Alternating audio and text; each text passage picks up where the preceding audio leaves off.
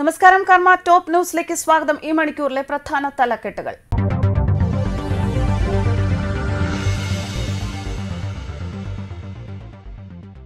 ഇത്രയും പേടിത്തൊണ്ടനായ മുഖ്യമന്ത്രിയെ കേരളം കണ്ടിട്ടില്ല. കേരള ജനതയുടെ പൊതുശല്യമെന്ന് മുഖ്യമന്ത്രിയെ വിമർശിച്ച് കെ സുധാകരൻ. മുഖ്യമന്ത്രിയുടെ സുരക്ഷ കുഞ്ഞിന് മരുന്ന് വാങ്ങാനെത്തിയ ആളെ തടഞ്ഞ പോലീസ്. വാഹനം നിർത്താൻ അനുവദിച്ചില്ല.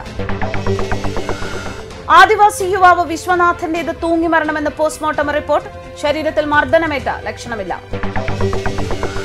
ഹൈക്കോടതി ചീഫ് ജസ്റ്റിസുമാരുടെ നിയമനം സംസ്ഥാനാനുമതി ആവശ്യമെന്ന് സുപ്രീം കോടതി തുർക്കിയുടെ കാര്യം മോദി നോക്കിക്കോളും. പിണറായി സർക്കാർ അതിന് ശ്രമിക്കേണ്ടതില്ലെന്ന് കെ സുരേന്ദ്രൻ. ബോക്സ സമുദായത്തിലെ അംഗങ്ങൾക്ക് വനാവകാശ ചാർട്ടർ വിതരണം ചെയ്ത് രാഷ്ട്രപതി. ദുരന്തഭൂമിയിലേക്ക് സഹായങ്ങൾ നൽകിയതിന് നന്ദി. ഇന്ത്യയുടെ തുർക്കി അംബാസഡർ ഫിറാത്ത് സുനാൽ. അഞ്ചു വർഷമായി കേരളം കണക്കുകൾ നൽകിയിട്ടില്ല. ആദ്യം രേഖ തരട്ടെ എന്ന് ജി എസ് ടി കുടിശ്ശിക ആരോപണത്തിൽ നിർമ്മല സീതാരാമൻ. കമ്മ്യൂണിസ്റ്റ് ഭരണമാണ് കേരളത്തിന്റെ വലിയ തെറ്റ്. മുഖ്യമന്ത്രിക്ക് മറുപടിയുമായി B J P. K S R T സിയിൽ വിരമിച്ച ജീവനക്കാരുടെ ആനുകൂല്യ വിതരണം. K S R T C സത്യവാങ്മൂലത്തിൽ ഹൈക്കോടതിക്ക് അതൃപ്തി.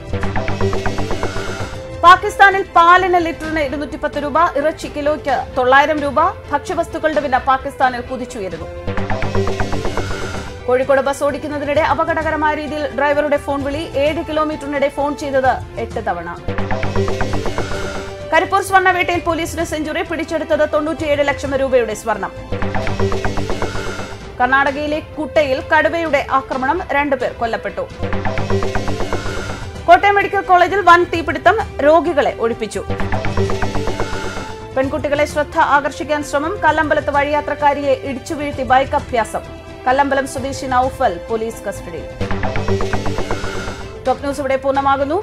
നമസ്കാരം.